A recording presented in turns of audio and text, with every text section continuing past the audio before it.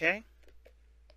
This is what brought you two together, and this is the this, is the challenge that you face, and this is your underlying energy. The ace, excuse me, the wheel of fortune, and the ace of cups is underneath that. Nice. Hmm. So this is a new opportunity, okay? Definitely one of expressing of feelings. This is an opportunity that started, definitely one in which you have experience in, but this is something that you definitely can take advantage of because you know what, you know, you get to do something differently with what you've experienced, uh, if that makes sense. Because you know how the other way goes, so you're doing something different, guys. Very similar to Virgo's reading.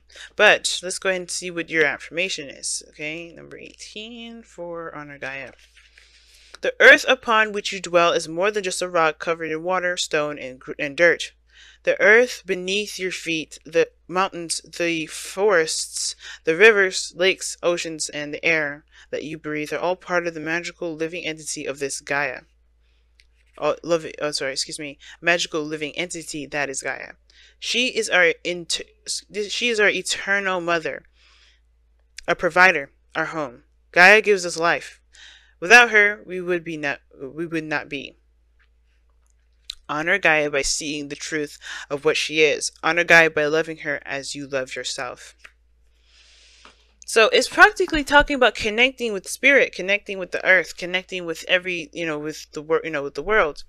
You know understanding that there is a piece of us that belongs to the universe that belongs to the earth and not in the way that we would think is material but more in the sense of you know you know as far as like you know being a product of of Gaia's life of, of the world's light you know living life force and instead of you know in the way to treat Gaia of course, the place that we live, the place that we call home, is by treating yourself with that same dignity and respect.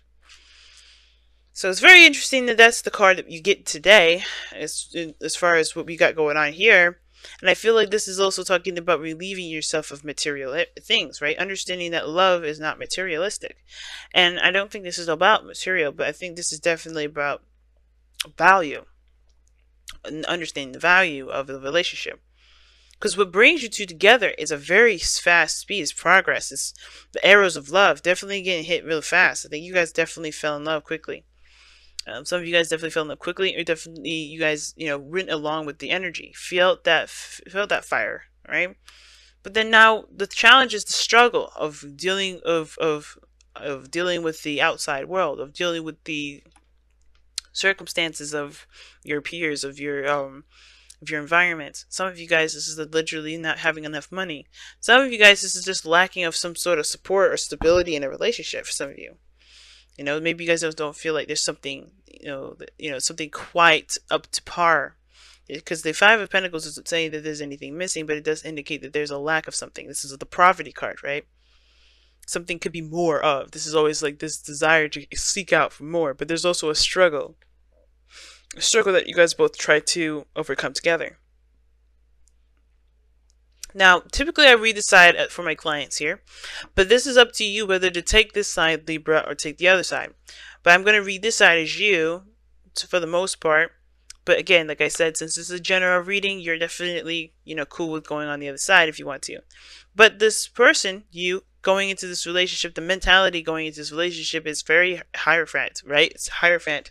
You're in a commitment, you're in a relationship. I don't think it's conformity or of any sort. I think you guys know that you know you're committed and you're in it, right?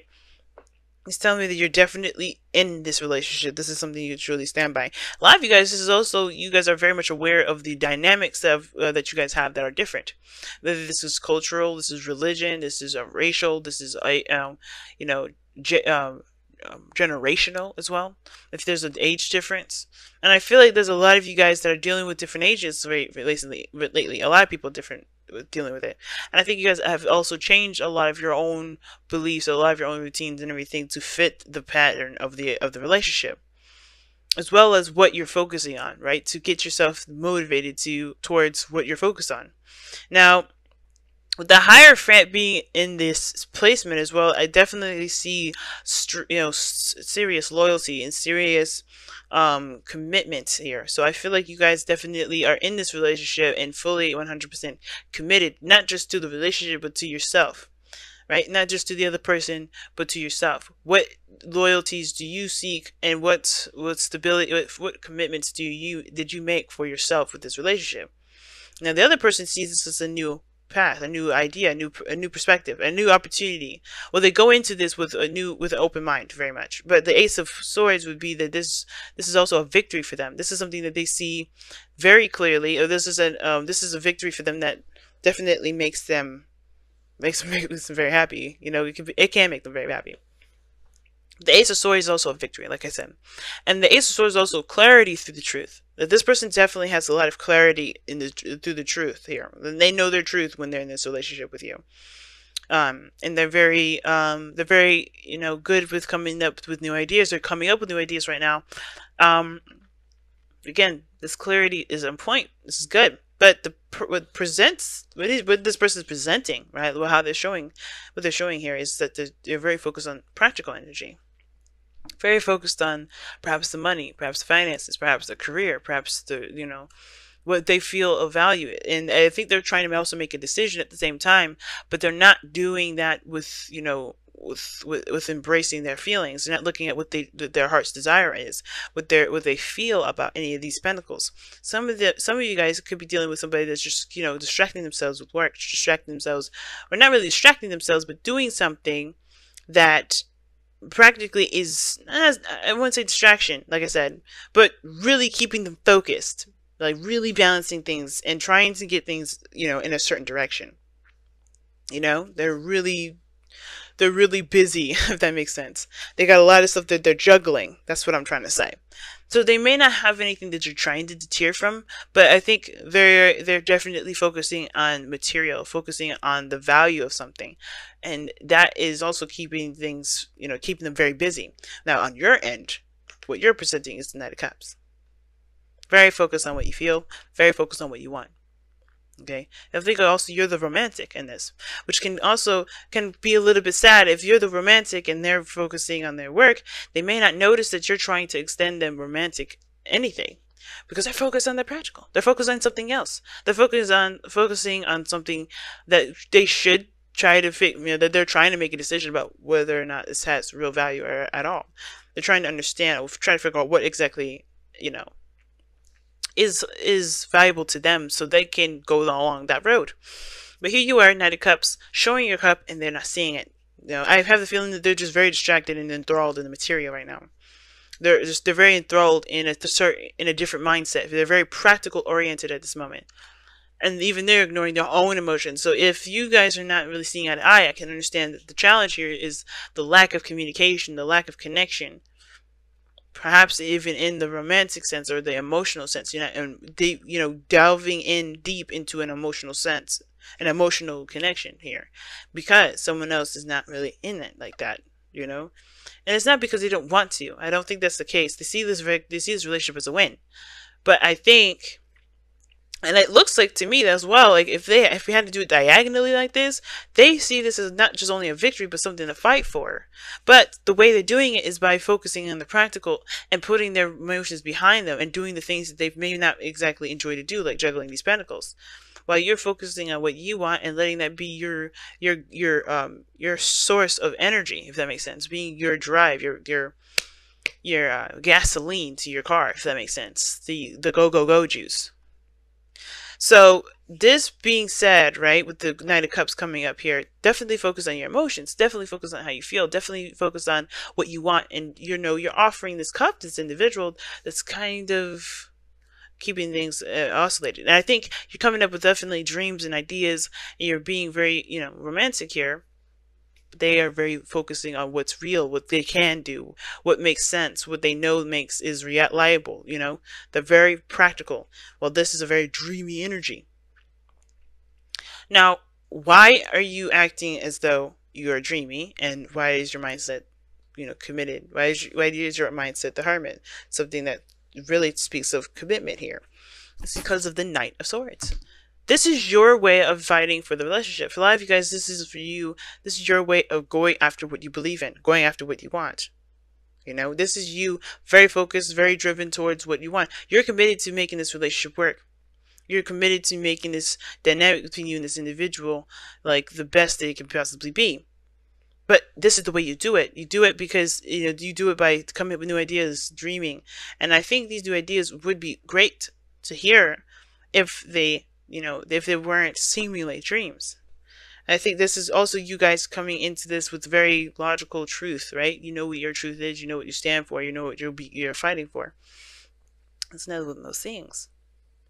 Now, the other person here is the Nine of Pentacles. The reason why they're the Two of Pentacles and the Ace of Swords is that they're kind of coming from a place where they're very familiar with something think of it like this they're in their own world they know how their own world operates and just be if it's outside of their realm of you know if it's outside of that world for them they like it like this they're not going to necessarily consider it. Not necessarily because they don't believe it's real but it's because they're you know they what they know to be work, what they know to work is what they've been dealing with. So their dreams in a way are limited some of them can be very limited. Some of them can be just like they're in a comfort zone. They they know what they what makes them feel good. You know, they knows they know what makes them feel safe. They know what they're confident in. You know, there's kind of keeping in an area and or in in a an arena that they know very well. They're very well versed with, and they're only going to play with that because that's what they know. And that's what makes them feel comfortable. But I think this is also with this Ace of Swords. They know that there's new beginnings, there's new possibilities here, and you bring that to the table. I feel like you come into this looking to break boundaries anyway, looking to break norms, especially for this person. So it's like you come in with dreams, and while they're coming in with practicality, you come in to fight for something, to break free, to to go after what you believe in. This person looks to stay in. This is not just only that you're committed to the relationship, but it looks like you're also going in to break a lot of these normalities that the other person has, right? To show them that there's another world outside of this world that they have here. But at the same time, you're coming from your own world of security. You're coming from your own world of boundary. And I think this person is also making you see their side and see, tapping into their world, not of conformity, but you're also changing or seeing another perspective of yourself that you, another perspective that can help you in the long run too, a practical perspective you know? And uh, maybe this is also highlighting a lot of the things that you recognize to be very practical in yourself and you're looking to be more dreamy and to go after your dreams more and to go after what you believe instead of focusing so much on the practical. Because that's the thing that's keep that's that's the struggle for the both of you right? Being together and enjoying each other's company without worrying about what they what the next meal will be not worrying about you know this what you guys have to deal with or put up with. Being broke and not having enough it's very interesting. Very interesting reading, Libra. Alright, so let's go ahead and see what you guys got here. For the advice and to wrap up this reading here, what does the Whispers of Love got to tell us? Aha! Spend quality time together. It is imp It is imperative that we spend quality time with those we are in significant relationships with, listening and talking to each other. What brought you two together was communication. And now with the struggle is keeping that up. Because look at the eight look at that. The eight of wands is not just progress, but it's also communication. You're doing all of this because you're trying to communicate. And again, this person's very much distracted with other things, so they can't even see the heart to heart conversations. But that's what's so important.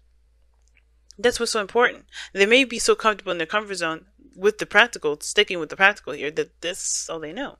But I feel like with the Five of Pentacles, this is, you know, this is a situation that needs to have more uh, time together, more quality time, and true quality time, getting to know each other, understanding each other's dreams, understanding each other's feelings about things, understanding each other's pers- uh, perspectives and opinions. I think this person's fresh, at, you know, and this is a fresh new perspective that they that deserves to be purged. But they're so enthralled with everything material wise that it's tearing them and distracting them from what matters, which is survival or con- you know connection.